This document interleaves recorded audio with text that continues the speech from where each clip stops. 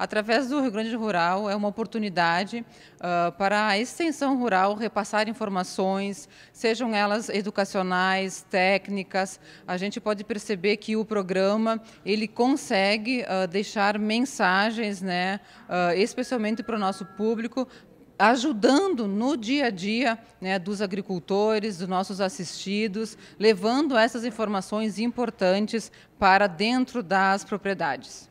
Parabéns à Emater e a seu quadro técnico uh, por manter por 20 anos esse programa no ar e também de toda a equipe de produção do programa, jornalistas, técnicos, que fazem com que esse importante programa uh, possa então estar no dia a dia dos gaúchos e o que a gente quer é que ele esteja por mais 20 anos aí ao lado dos gaúchos. Depois de 12 anos, voltamos a uma propriedade no interior de Canguçu para conferir uma família top em adoção de tecnologias e capacitação. A família Reichel continua unida em pilares sólidos, como a capacitação, a tecnologia e planejamento no futuro. Acompanhado do extensionista da Emater, retornamos ao município de Canguçu, no sul do estado, para visitar a família Reichel e ver de perto as mudanças na vida de Claudino, Nara e filhos. Recebidos com o tradicional chimarrão, convidei-os para assistir uma reportagem do Rio Grande Rural, número 370, gravado na propriedade há mais de uma década. Não faltam 50 litros de leite por dia. Na propriedade da família Reichoff, a principal atividade é com o gado de leite. E para aprimorar a produção e administrar custos e gastos, o agricultor decidiu participar de um curso no Centro de Treinamento de Canguçu. Além de cálculos para controlar despesas, aprendeu a utilizar tecnologias para facilitar o trabalho no dia a dia da propriedade e melhorar a produção leiteira e de pastagens. Na localidade de Favila, em Canguçu, a família Reichov trabalha com gado leiteiro, seguindo as recomendações técnicas e o aprendizado adquirido no Centro de Treinamento da Emater, o CETAC. Na propriedade, a tecnologia está em todas as partes e tudo possui relação. Cuidando do solo, se tem melhor produção e melhor alimento para as vacas. Uma das melhorias introduzidas aqui na propriedade foi o plantio do milho no sistema de plantio direto. Aqui, esse milho será destinado à silagem e já cresce com uma segurança, com uma garantia a mais de que ele vai ter uma boa produtividade. O tempo passou e a vida da família mudou para melhor. O filho Gabriel, que antes só brincava, cresceu e está servindo o Exército Nacional. Segundo os pais, está amadurecendo para assumir seu lugar na propriedade familiar.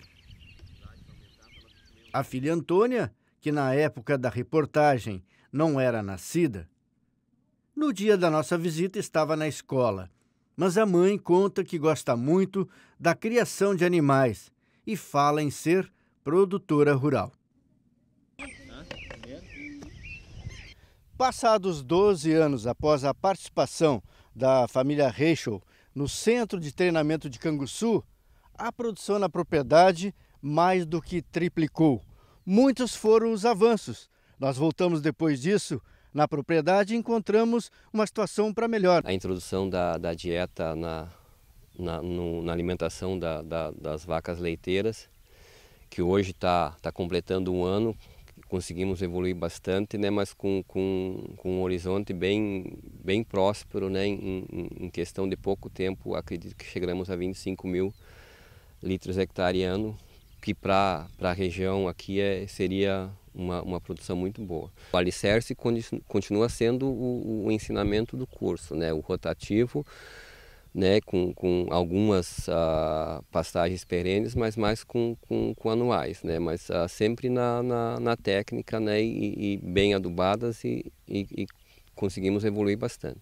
A gente olhou para trás aqui e viu que a quantidade de vacas aumentou. Sim, ciclo natural né, da, da, de uma propriedade leiteira que, que quando você consegue ajuntar as pontas todas, né, ela vai, ao longo dos anos, uh, vai se evoluindo né, em todos os aspectos, né, tanto na, na, na produtividade como na genética, né, sempre com, com inseminação, né, e as, as matrizes mais novas, as novilhas, né, cada vez mais bem conformadas né, e mais produtivas. Né. Como é que vocês estão pensando daqui para frente, quando vocês pensarem em se aposentar, parar de trabalhar? Quem é que vai tocar tudo isso que vocês estão fazendo agora? Uh, a gente está trabalhando para que os filhos toquem, né? Mas para que isso aconteça, tu tem que dar suporte para isso, né? incentivar eles e não só pedir o trabalho deles, mas também uh, oferecer algo em troca, tipo remuneração, né? Ninguém quer trabalhar de graça. Pode ser filho, mas é, cada um quer ter o seu, seu salário, né? E, e é um grande problema das uh, propriedades rurais é esse, que os, os, pais querem que os filhos trabalhem, mas não incentivam isso, não remuneram eles. Então eles acabam deixando por qualquer saláriozinho na cidade para ter o seu dinheirinho, eles deixam a propriedade rural incentivava eles a, a perguntar assim, o que, que eu podia fazer, o que, que eu posso fazer. E eles gostam, né? É uma coisa que eles gostam. Ele, eu acredito que eles gostam também porque a gente mostra que, é, o prazer que a gente tem que, de trabalhar na propriedade rural. Então isso a gente repassa para os filhos. Uh, nós, nós temos aqui na propriedade todas as pessoas atuantes, né, qualificadas, tanto o Claudino como a Nara e o Gabriel também, todos passaram pelo centro de treinamento e o que a gente vê com isso. É uma evolução muito grande, não só na questão produção e produtiva, mas na questão na, uh, da forma de pensar, da forma de ver as coisas e enxergar o, os horizontes que, que, que, se deslumbram. Né? E, e, é importante porque nós, alguns anos atrás, há, há 12 anos atrás, quando nós recebemos essa família lá no centro de treinamento, elas tinham um sonho e esse sonho hoje está realizado e se conversares com elas, elas terão outros sonhos daqui para frente. E a gente acha isso muito legal, muito importante. E junto com a qualificação, a vontade, com certeza. A vontade é fundamental, associada à vontade de, de crescer, a qualificação e o incentivo que eles também devem receber, com certeza eles conseguem crescer.